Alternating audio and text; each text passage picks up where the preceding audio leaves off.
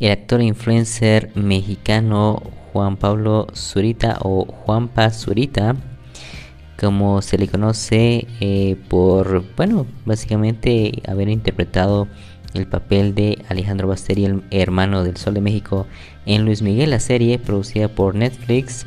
Pues estuvo en Shela, en Quetzaltenango, en Guatemala, en nuestra ciudad altense, y pues presumió un eh, pues eh, rico desayuno eh, con frijoles volteados, huevos revueltos, chorizo, plátanos fritos y chirmol. Y pues él se tomó fotos, él vino invitado por una marca, hay que decirlo, eh, por Pepsi. Eh, hicieron un comercial, grabaron aquí en Guatemala.